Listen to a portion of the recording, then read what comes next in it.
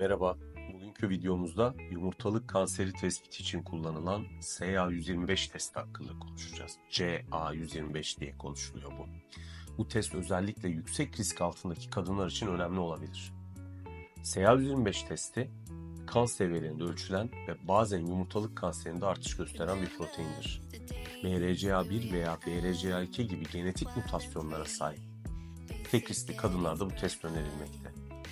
Bu mutasyonları da basit bir kan testiyle kolaylıkla tespit edebiliyoruz. Ailede meme kanseri, yumurtalık kanseri varsa bu konuda mutlaka doktorunuza danışın.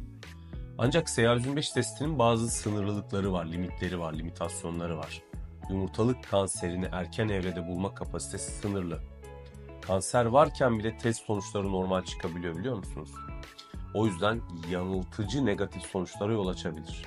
Aynı zamanda kanseri olmayan tamamen sağlıklı kişilerde pozitif sonuç da verebilir.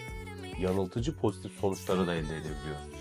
Onun için e, birden çok hastalıkta, birden çok kondisyonda TA125 testi yüksek olabileceği için özellikle kullanımı risk grubundaki hastalar için önerilmektedir. Yararları ve riskleri iyi tartışılmalı, yüksek risk altındaki kadınlar için testin zamanlaması ve uygulanma şekli hakkında doktorunuzla mutlaka görüşmelisiniz.